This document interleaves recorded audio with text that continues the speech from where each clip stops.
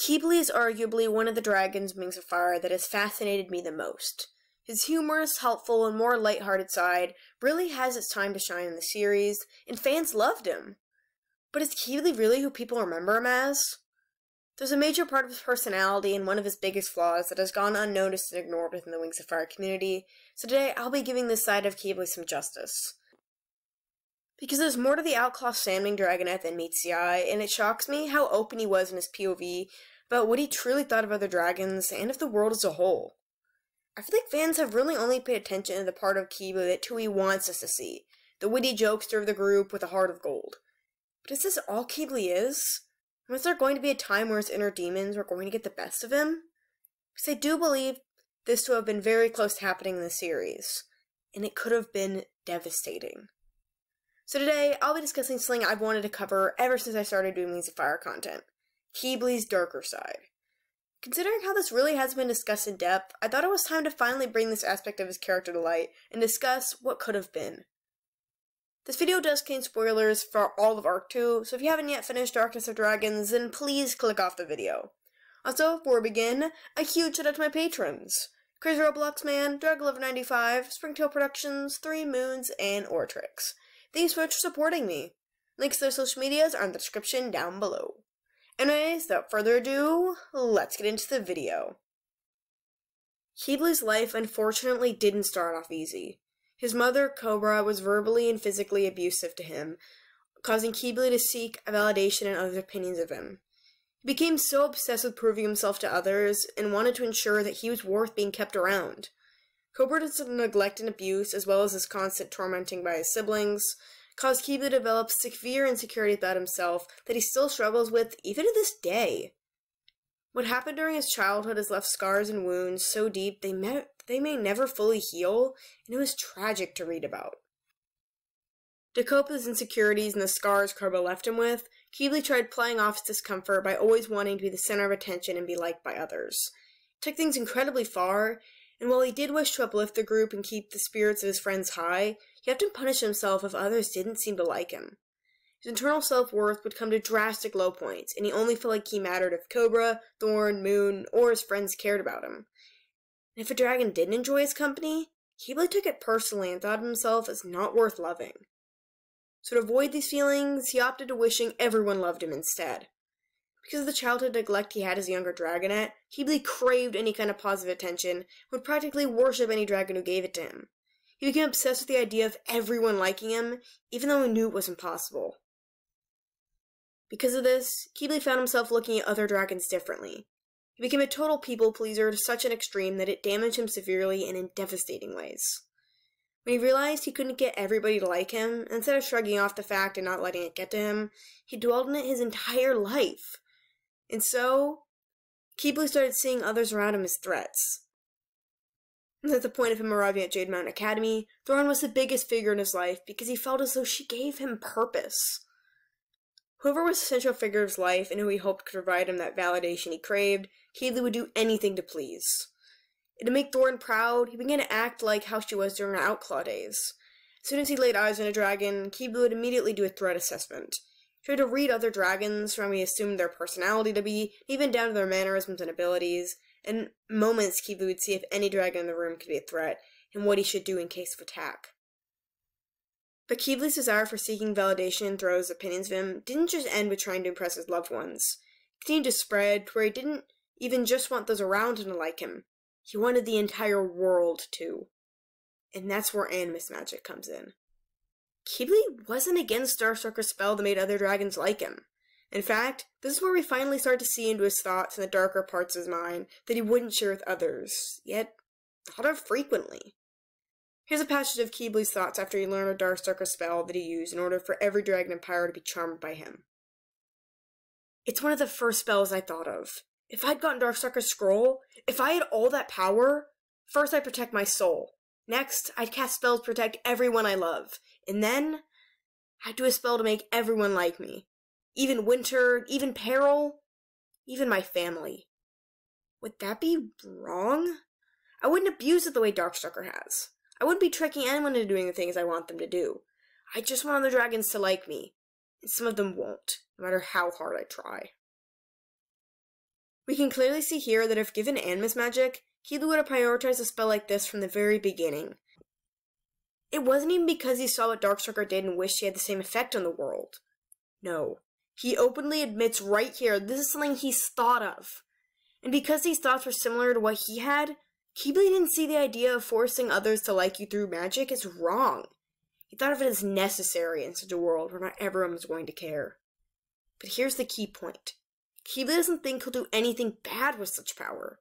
Despite seeing how nearly every Animus dragon in history has managed to be corrupted by their own thoughts, desires, the power they wielded, he thought he would be the exception. In a way, it's similar to some toxic relationships. For example, Person A has cheated on all their partners in the past, but Person B believes that they'll be the exception. They may have thoughts like, I can change them, or they wouldn't do it to me though, and I would know if they were doing it anyways, so I'll be fine. Take that and apply it to this situation. Despite the overwhelming evidence that Animus magic isn't worth the price you pay for it, through stories of the past, others' mistakes, and even dragons telling them to his face, Qibli just refused to believe he could ever do something like that. Isn't that how Darkstalker thought of himself too? That he would never end up like his father, yet turned out to be exactly like him? Qibli is an exact repeat. He could have been the next Darkstalker, and it was right under our noses the entire time. He told himself and genuinely believed that he would never abuse his powers if he had them like Darkstalker. He thought of the same spells as he did.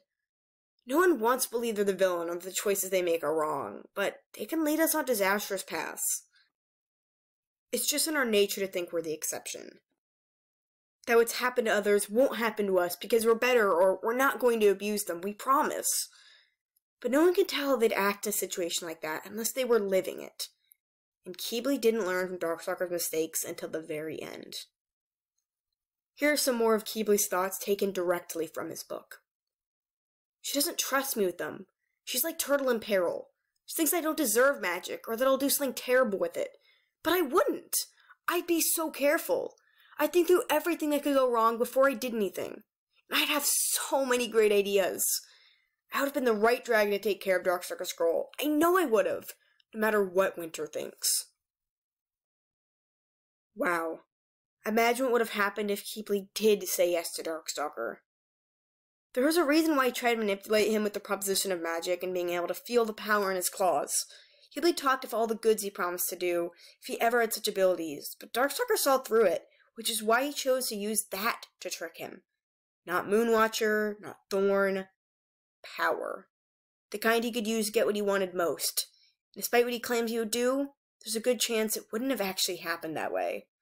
Darkstalker saw himself in the young salmon dragonet, most likely without even truly realizing it. Qibli didn't want to become Cobra, just how Darkstalker didn't want to become Arctic. Then Qibli didn't want to become Darkstalker, who didn't see him as a villain, even though he was.